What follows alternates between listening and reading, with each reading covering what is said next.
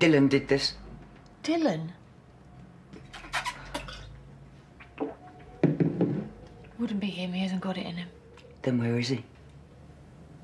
I don't know. We had a few drinks. I fell asleep. He must have left. Yeah, and he was scared, angry, and drunk.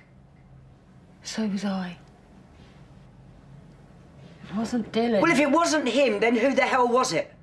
I locked the door so nobody else could have got in or out.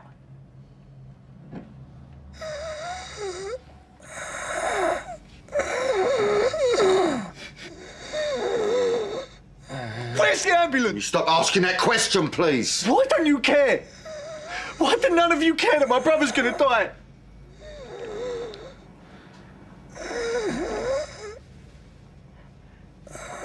Where?